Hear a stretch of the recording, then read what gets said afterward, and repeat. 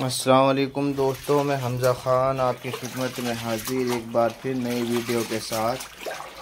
आज की वीडियो में हम आपको दिखा रहे हैं कि कबूतरों को जो आप दाना खिलाते हैं, गेहूँ, बाजरा, सरसों या जो भी, उसको इस तरीके से धो लेना चाहिए।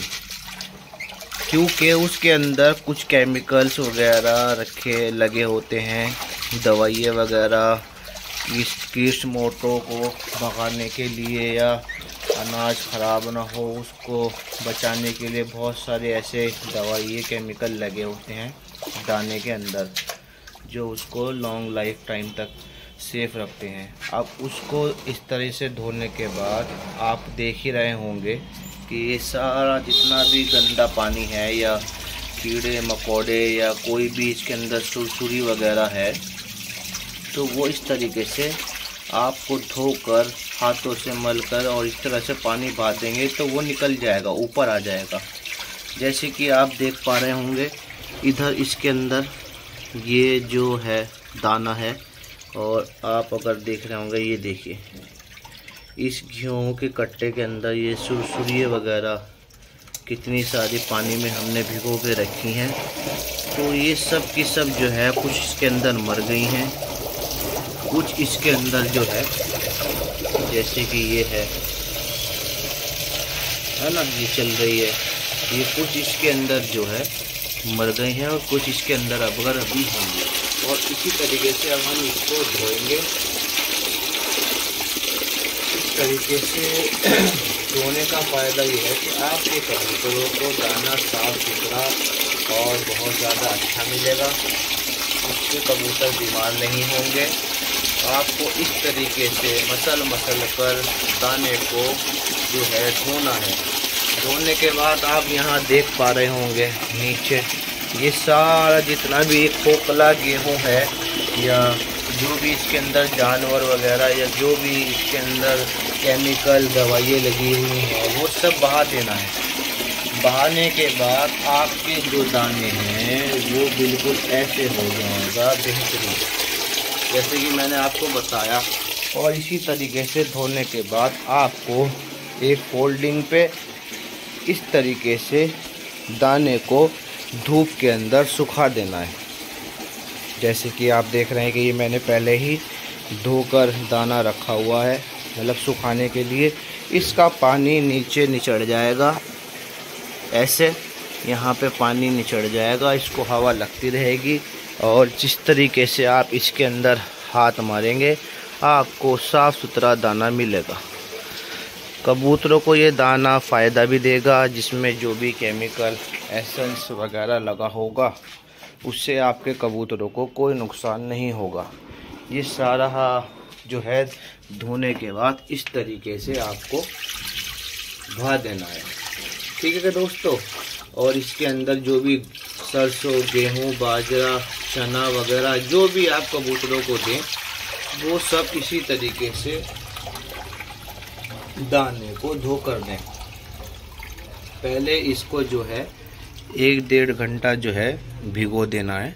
तो भिगोने का फ़ायदा ये है कि इसके अंदर जो भी जानवर या वो कुछ भी चीज़ के अंदर होगी तो वो इस तरीके से मैंने आपको दिखाया है कि वो ऊपर आ जाएगी। ठीक है? जैसे कि ये खोखला गेहूँ है। और ये देखिए, इसमें ये सुरसुरी वगैरह जो है, और ये वेस्ट मटेरियल जो है, बिल्कुल ही जिस, जो कबूतर खाते नहीं हैं और ये फेंकना ही पड़ता है, ये छत पे कूड़ा भी करता है, ना तो आपकी छत पे जो है कूड़ा होगा कबूतरों के अंदर और ना ही आपको कोई डस्ट धूल मट्टी होगी जो दाने के अंदर आती है, जिससे छत ख़राब हो जाती है और कबूतर आपके तंदुरुस्त रहेंगे। ठीक है दोस्तों? तो वीडियो को लाइक कीजिए, शेयर कीजिए, कमेंट कीजिए और बताइए कि आपको वीडियो हमारी कैसी लगी। और ये जोड़े का शौक कीजिए। दोस्तों, ये फीमेल है, एक जोड़ा ऊपर है। उसका भी शौक कीजिए और बताइए कि ये कैसे लगे आपको। ठीक है दोस्तों, इसी के साथ आपसे लेते हैं इजाज़त।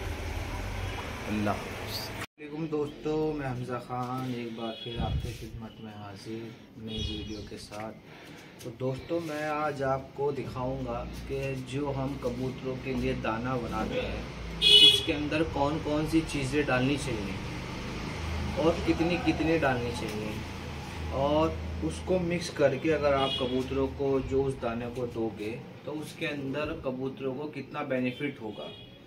जैसे कि मैं आपको दिखा दूँ कि ये सारा सामान मैं लाया हूँ। गेहूँ के अंदर ये बाजरा है। बाजरा बिल्कुल साफ़ सुथरा। ये सरसों है। ये जवाहर है। ये मक्की है। मक्की आप देखिए कितनी खूबसूरत है। चमक रही है। और ये चनी है, बारीक चनी। बारीक चनी। गर्मियों में और क्या सर्दियों में चनी का जो है, मकदार कम कर देनी चाहिए, क्योंकि ये पानी ज़्यादा मांगती है। लेकिन गर्मियों के अंदर जो है, कबूतर पानी ज़्यादा पीता है। तो ये कबूतरों के पोटे में अड़ती नहीं है। अब जैसे कि मैं आपको दिखाऊँ कि ये जो है मैं इसके अंदर जो है चने मिला दूँ।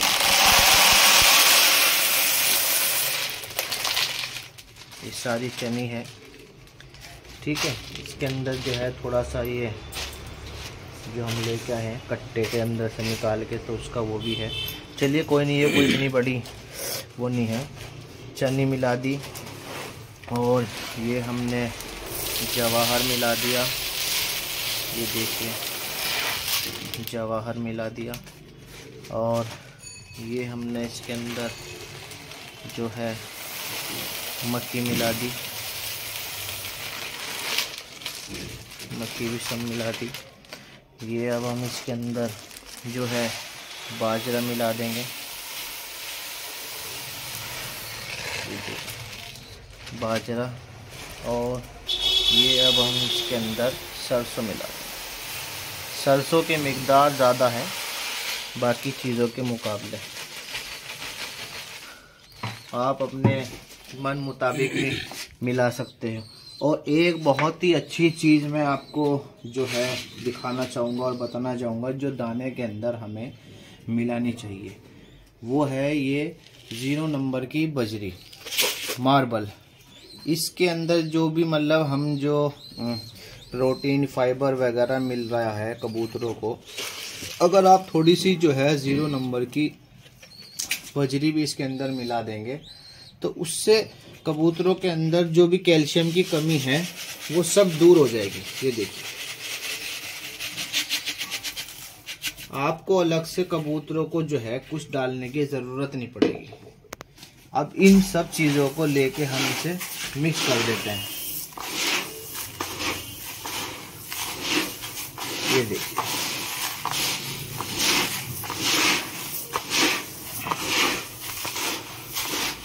ये मिक्स करने का तरीका, कि इसे अच्छी तरीके से मिक्स कर दिया जाए।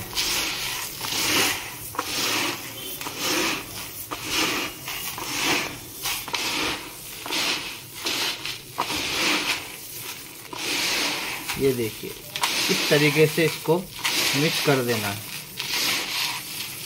अभी इसके अंदर जो है, गेहूँ मिलाना बाकी है। या आप गेहूँ को ना ही मिलाएँ, उसको अलग से ही इसके अंदर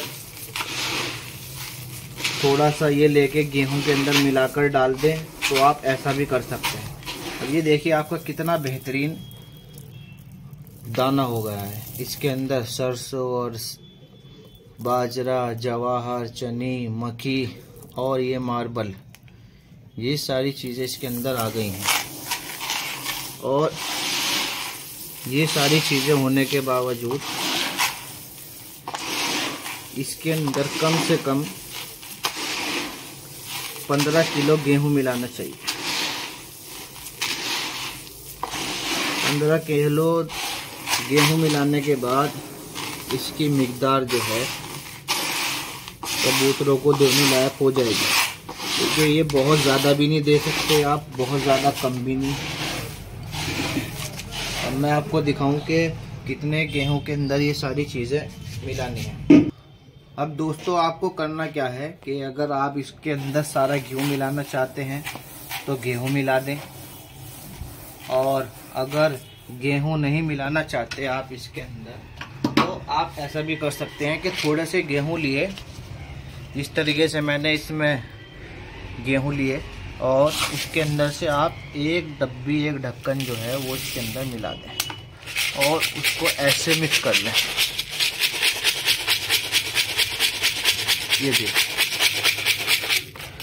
अब आपको खुद ही पता चल जाएगा कि आपके गेहूँ, सरसों, बाजरा, सब गेहूँ भी आ गए और सब दाना भी आ गया।